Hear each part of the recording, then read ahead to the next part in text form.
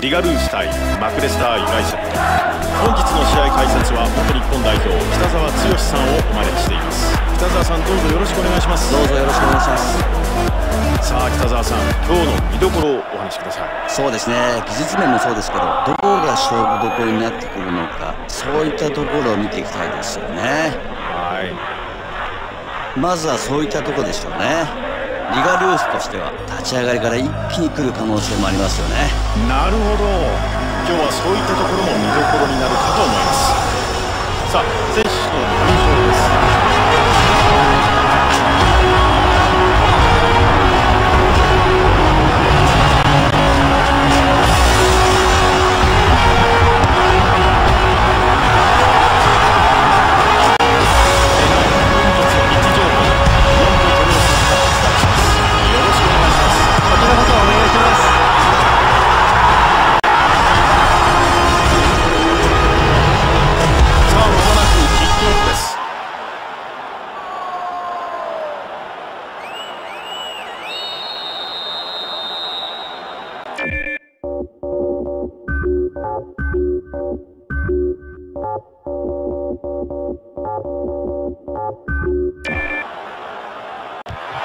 開始の笛が鳴りました。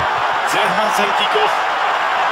ビガルースーバックのようですね。いいんじゃないですか？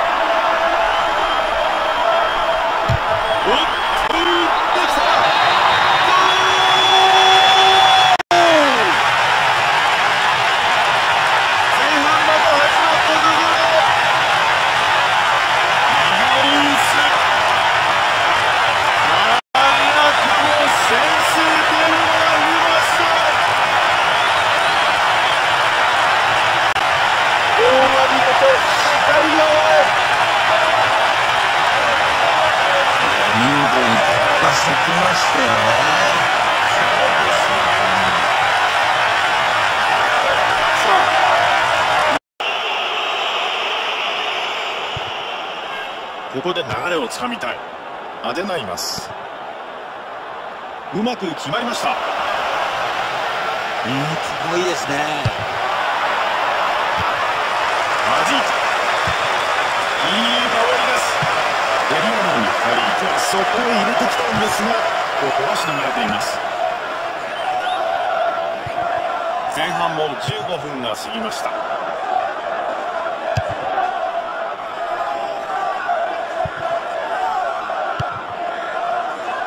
北澤さんリガルースゴールしてからのというのはいかがですか？いやいいと思いますよ。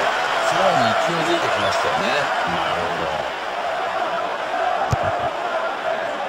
さあ北澤さん。リガルース今のところ1点リード。でも本当に今日はうまくボールを回せていますよね。やはりそのあたりがですね今日の得点に結びついていると思いますよそういった基本的なところをしっかり意識してプレーしてますよね。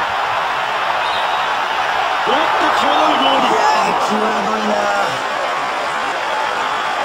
ここまで持ってきたんですが残念でしたね。いやー外れシュートでしたよ。さあ戻して。これは抜けません。また奪った。下げた。えー、カエルさん、アウェー側なんですけど、誰かバットが始めないようですね。動くかもしれませんね。はい、ベンチが慌ただしくなったという10秒に入りましたカウンターチャンス後ろから抑えました。フランスここで主審に呼ばれています。おっとここでイエロー。今のファウルもう一度ご覧ください。な